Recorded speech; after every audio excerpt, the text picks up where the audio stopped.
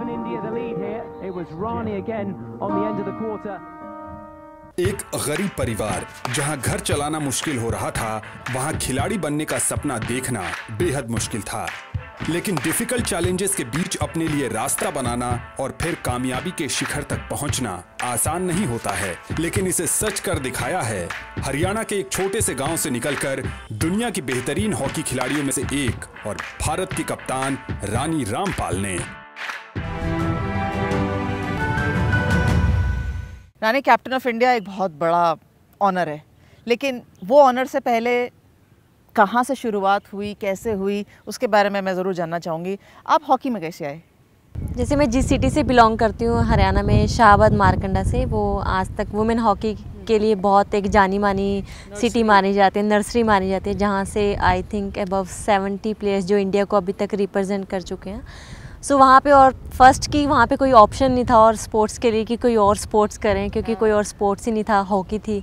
और second thing कि जैसे उन प्लेयर्स के बारे में सुनते थे कि उनको जॉब्स मिलती है या वो इंडिया के लिए खेलते हैं उस टाइम पे इतने यंग थे ये तो नहीं पता था कि इंडियन टीम क्या होती है या उसकी क्या अहमियत होती है लेकिन ये था कि एक जॉब मिलेगी हॉकी खेलने से या फिर स्कूल के बाद मतलब एक हम वहाँ खेलने जा सकते हैं सो जहाँ पे हम टाइम स्पेंड कर सकते हैं। अदरवाइज़ घर में ही रहेंगे नहीं तो घर वाले खेलने नहीं देंगे। कि, कितने उम्र के थे तो जो आपने खेलना शुरू किया? या आपने आपको पहली बार ग्राउंड की तरफ़ ले गए?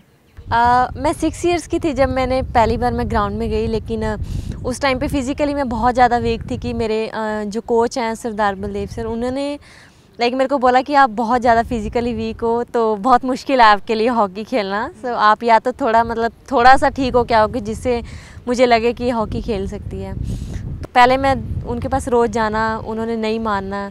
सो so, उसके बाद मैंने बंद किया तो एक साल के बाद मैं जब मैं सेवन ईयर्स की हुई तो, तो उनके पास गई। तब भी उन्होंने मेरे को बहुत बार बोला कि यहाँ पे बहुत ज़्यादा स्टिकनेस है कि यहाँ प्लेयर्स को बहुत ज़्यादा पनिशमेंट मिलती है अगर वो डिसिप्लिन में नहीं रहते या पंक्चुअलिटी से टाइम पे नहीं आते। यहाँ पे बहुत मार पड़ती है। सो so, मैंने उनको बोला कि मेरे को सब कुछ मंजूर है लेकिन मुझे खेलना है बस।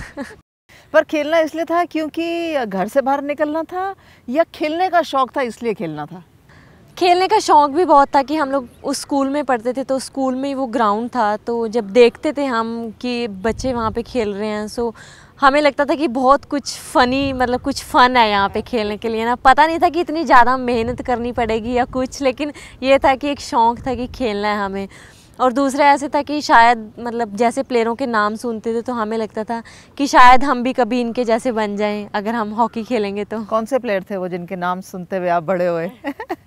जैसे हमारी फॉर्मर कैप्टन जो थी सुरेंद्र कौर वो अभी डीएसपी है हरियाणा पुलिस में सुमन बाला हैं जिनको देख के मुझे हमेशा मतलब एक अच्छी फीलिंग आती थी कि मुझे भी एक दिन इनके जैसा प्लेयर बनना है और बिकॉज़ जैसे सुरेंद्र कौर दीदी थे वो मतलब टोटली मेरे जैसी बैकग्राउंड से थे बिल्कुल ही। उनको भी बलदेव सर ऐसी रोड से लेके आए थे पकड़ के कि हॉकी खेलोगे क्या? तो उन्होंने बोला कि मुझे पता नहीं हॉकी क्या होती है लेकिन आप बोल रहे तो खेल लेते हैं।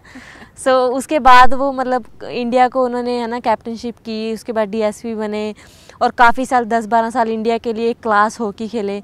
सो so, मुझे ऐसा लगता था कि अगर वो कर सकते हैं तो शायद हम भी कर सकते हैं अगर हम मेहनत करेंगे तो उनकी जैसी। सो बलदेव सर का काफ़ी रोल रहा है। नर्सरी ऑफ़ कोर्स जो जहाँ से ट्रेनिंग कर करवा के लड़कियाँ या इवन लड़के जो पूरे हॉकी प्लेयर्स आए हैं। लेकिन जैसे वो उन्होंने कभी कोई लाइन कह दी तो वो पत्थर की लकीर की तरह मानी जाती थी।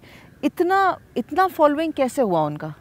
आई थिंक वहाँ से जितने भी प्लेयर अभी वुमेंस हॉकी से आए हैं वो उनका बहुत बड़ा रोल है। और लाइक like, इतनी छोटी सी सिटी से इतने सारे प्लेयर्स आने मतलब इतनी छोटी बात नहीं है बहुत बिकॉज़ उसके लिए बहुत ज़्यादा उन्होंने काम किया है वहाँ पे। अपनी फैमिली उन्होंने 20-25 साल अपनी फैमिली को छोड़ के रखा जो पंजाब में रहती है उनकी फैमिली और स्पेशली उनका एक ये था कि लड़कों के लिए सारे काम करते हैं लेकिन लड़कियों के लिए कोई नहीं करना चाहता। सो मुझे और स्पेशली मुझे कुछ ऐसी जगह पे जाके करना है जहाँ लड़कियों को बिल्कुल ही मतलब कोई घर से बाहर नहीं निकलने देता हरियाणा जैसे स्टेट में। सो so, उन्होंने वहाँ पे आके काम किया। उनकी सबसे अच्छी बात थी कि उनको इसीलिए उनकी कोई चीज़ भी थी जो इसलिए फॉलो की जाती थी क्योंकि वो खुद पहले उस चीज़ के लिए, उस चीज़ पे स्टिक रहते थे कि अगर उन्होंने जैसे बोला कि अगर मतलब डिसिप्लिन चाहिए या टाइम पे ग्राउंड आना तो अगर हमें सुबह फाइव ओ ट्रेनिंग जाना तो वो फोर फोर्टी फाइव वहाँ पहुँच जाते थे। मतलब नो मैटर बारिश आ रही है कुछ भी हो रहा है ठंड है गर्मी है उनको उस टाइम पे आना ही आना है। मतलब समटाइम्स प्लेयर्स सोच रहे थे कि शायद आज कोच थोड़ा लेट आ जाए बट उनका पक्का था कि उनको टाइम से पहले आना ही आना है। सो so, वो चीज़ वो प्लेयर से भी हमेशा वही बोलते थे कि मेरे को ये चीज़ बिल्कुल पसंद नहीं है कि अगर आपके अंदर डिसिप्लिन नहीं है तो आप प्लेयर नहीं बन सकते। सबसे पहले आपको डिसिप्लिन में रहना बहुत ज़रूरी है। एक बार आपको भी उन्होंने कहा था कि आप लेट आए हैं तो फ़ाइन है आपके लिए, और उन्होंने अपनी जेब से पैसे निकाल के दे दिए थे। बहुत, मैंने तब शुरू की थी हॉकी, एक दो साल ही हुआ था तो मुझे पता तो था कि वो इतने स्ट्रिक्ट हैं मतलब आ, लेकिन हमारी फैमिली कंडीशंस इतनी बैड थी उस टाइम पे कि हमारे घर में कोई जैसे क्लॉक नहीं होती थी कि जिससे मेरी मम्मी मेरे को सुबह उठा सकें चार बजे की ग्राउंड जाने के लिए। सो मेरी मम्मी मतलब यूज़ टू थे कि समटाइम्स वो आसमान को देख के आइडिया लगाते थे कि सुबह उसका टाइम हो गया उसको उठाना है लेट हो जाएगी नहीं तो मार पड़ेगी। सो मेरे से ज़्यादा टेंशन उनको रहती थी कि उसको मार पड़ेगी या पनिशमेंट मिलेगी। सो एक टाइम था कि मैं फाइव ओ का टाइम था तो मैं पाँच बज के दो मिनट पे एकेडमी में पहुँची तो वो ऑलरेडी पहले वहाँ पे आए होते थे तो उन्होंने लाइक मेरे को पूछा कि लेट आए हो आप तो मेरे को पनिशमेंट मिली वहाँ पे। उन्होंने दो तीन घंटे मुझे फ्रंट रोल लगाने के लिए बोला कि और इतनी ठंड में मतलब उस टाइम बहुत ठंड थी दिसंबर का महीना था मेरे को अभी भी याद है पानी में जैसे टर्फ के ऊपर पानी होता है। सो so, उन्होंने मेरे को उसके बाद बोला ट्रेनिंग के बाद कि आपको टू हंड्रेड रुपीज़ फ़ाइन है बिकॉज़ आप दो मिनट लेट आए हो और आपको शाम को लेके आने हैं। मतलब टू हंड्रेड रुपीज़ मेरे लिए टू लैख थे कि मेरे पापा भी टू हंड्रेड रुपीज़ पूरे दिन में नहीं कमाते थे। सो so, उसके बाद घर जाके बोला तो मम्मी ने बोला कि टू हंड्रेड रुपीज़ तो नहीं है लेकिन उन्होंने किसी से मेरे को हंड्रेड रुपीज़ लेके दिए और बोले कि यही है और इससे ज़्यादा तो नहीं है मतलब और दे भी नहीं सकते।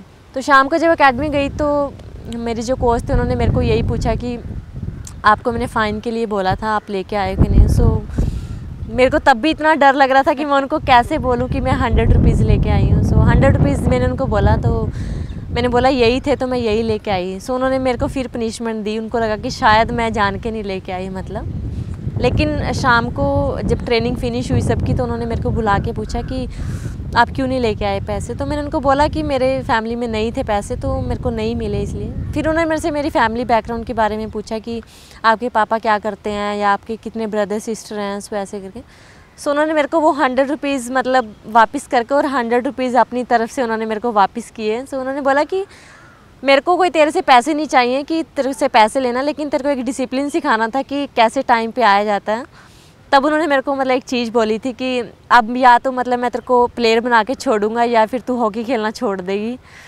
सो so, मेरे को ऐसे वो बोले मतलब हॉकी तो नहीं मैं छोड़ने दूँगा लेकिन ये ज़रूर है कि मैं तेरे को प्लेयर ज़रूर बना के छोड़ूँगा। सो so, उसके बाद उन्होंने बहुत ज़्यादा वैसे तो सब प्लेयर्स के ऊपर वो सेम कंसंट्रेशन से काम करते थे लेकिन उनको ये था कि ऐसे फैमिली बैकग्राउंड से आए सो इनको कुछ स्पेशल मतलब जो है इनसे क्योंकि उनको हमेशा उनका एक सबसे बड़ा बिलीव था कि हमेशा जो पुअर बैकग्राउंड से बच्चे होते हैं उनको लेके आना क्योंकि आप उनसे जितना भी चाहो हार्डवर्क करवा सकते हो। सो so, इसलिए वो हमेशा बच्चे जो थे वो गाँव से या ऐसी ऐसी फैमिली से पिक करते थे कि जो जो ज़्यादा मेहनत कर सकते हैं ताकि वो अपनी फैमिलीज़ को कल को मतलब एक जैसे बोलते हैं ना चला सकते हैं।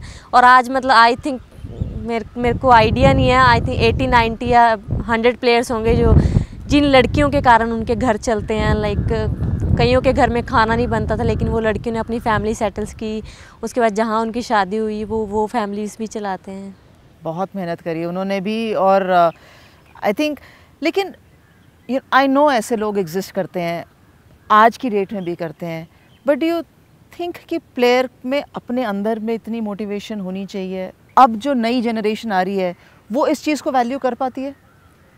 आई थिंक अभी वो चीज़ थोड़ा कम होगी अभी आज की जनरेशन में क्योंकि और समटाइम्स क्या होता है आपको एटमोसफेयर का बहुत फ़र्क पड़ता है हम्म। कि कुछ प्लेयर्स होते हैं हम भी हमें ऐसे लगता है कि शायद हम ऐसी एकेडमी में गए कि जहाँ एटमोसफेयर ऐसा बना हुआ था कि सारे इतनी मेहनत करते थे और सबको इक्वल देखा जाता था तो सबको ऐसे रहता था कि यहाँ जो मेहनत करेगा वही आगे जाएगा अदरवाइज़ कोई ऑप्शन नहीं है बहुत जल्दी आपको जूनियर टीम और एक टैलेंटेड यंगस्टर जो साइट करती है सिलेक्टर साइट करते हैं या एडमिनिस्ट्रेशन साइट करती है वो आपके साथ बहुत जल्दी हुआ। दैट मीन्स आपने बहुत जल्दी भी सीखी हॉकी नहीं बिल्कुल आ, हमारे एकेडमी में भी ऐसे होता था कि अगर जैसे बैच वाइज हॉकी खेली जाती लेकिन किसी एक बैच में अगर कोई बहुत आउटस्टैंडिंग होता था तो हमारे कोच उसको थोड़ा सीनियर बैच में डाल देते थे ताकि वो उसको सीनियर प्लेयर्स के साथ खेल खेल के वो एक्सपीरियंस मिलेगा। 2005 में जब मैं जूनियर कैम्प में आई थी तो उस टाइम पे मेरा बॉडी वेट 36 केजी था।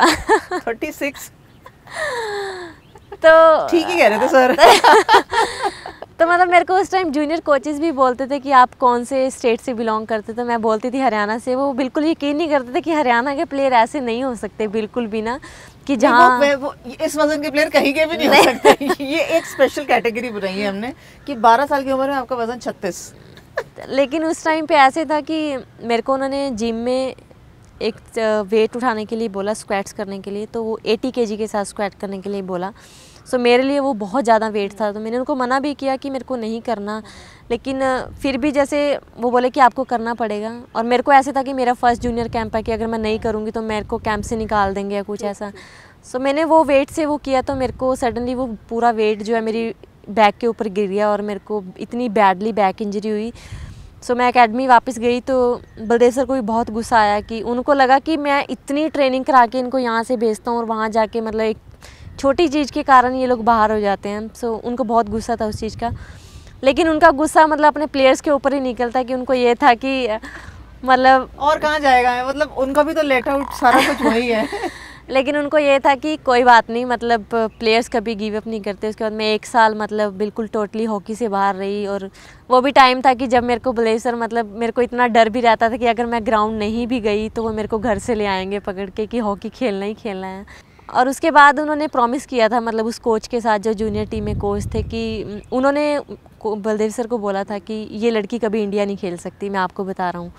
सो so, वो उनको वो चीज़ बहुत हर्ट की कि मतलब जिस प्लेयर्स के लिए मैं इतना काम कर रहा हूँ और उसको कोई कैसे ऐसे बोल सकता है। सो so, उन्होंने बोला था कि कोई बात नहीं मतलब आपने बोल दिया बट मैं आपको करके दिखाऊँगा वो चीज़ कि ये लड़की खेलेगी इंडिया के लिए ना। सो so, 2007 में नेशनल गेम्स हुई थी गुवाहाटी में ना।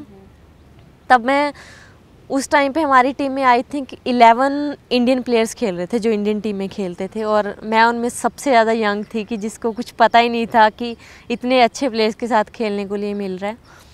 तो वहाँ पे जो हमारे एम के कौशिक जो फॉर्मर कोच थे वो वहाँ पे एज अ सेलेक्टर आए हुए थे। तो उन्होंने जब मेरे को वहाँ पे देखा तो उन्होंने मेरे को सीनियर कैंप के लिए सिलेक्ट किया था वहाँ से और उसके बाद भी मेरे को कोई उम्मीद नहीं थी कि मैं इंडियन टीम में मतलब आ जाऊँगी इतनी जल्दी लेकिन उन्होंने मेरे को एक दिन फिर बुला के कैंप में बोला कि कि आप क्या सोचते हो टीम में आने के लिए? सो so, मेरा एक ही आंसर था कि अभी तो बहुत सारे सीनियर प्लेयर्स खेलते हैं मतलब मेरा कोई चांस ही नहीं है टीम में आने के लिए ना।